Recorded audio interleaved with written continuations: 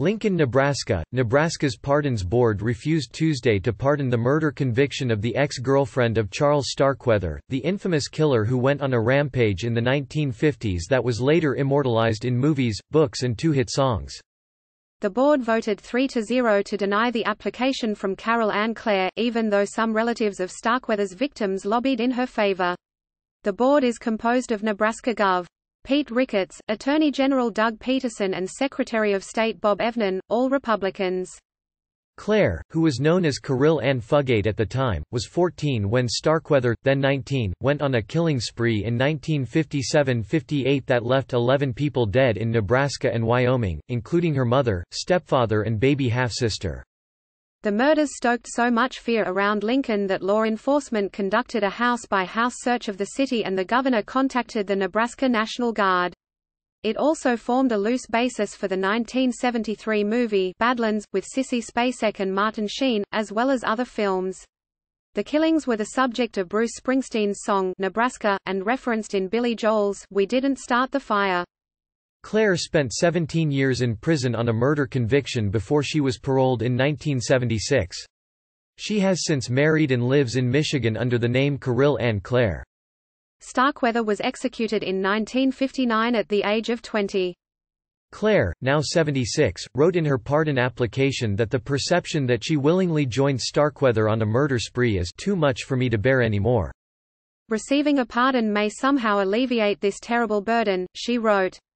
After the vote, Peterson said he denied the application because the purpose of the Pardons Board is to restore a felon's rights, and Clair's request was much, much broader than what board members could offer.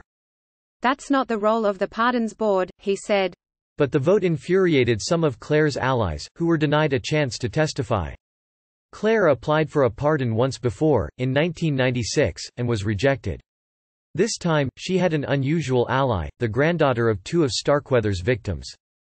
Liza Ward, of Duxbury, Massachusetts, said she became convinced that Clair was innocent after researching the case and visiting all the sites where people were killed. Ward is the granddaughter of S. Lauer and Clara Ward, who were killed in their Lincoln home in December 1958. There are a lot of people who support her, and we're going to let her know that however we can, Ward said through tears after the board's vote.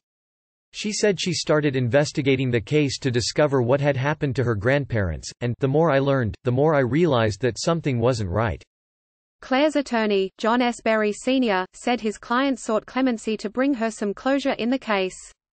She's not after anything else other than to clear her name, said Berry, who also co-wrote a book arguing that Clair's conviction was a miscarriage of justice. But Dave Ellis, a relative of another victim, said he was pleased with the board's decision. Ellis said he believes Clair killed his first cousin once removed, Carol King, because King's body was partially mutilated after Starkweather raped her.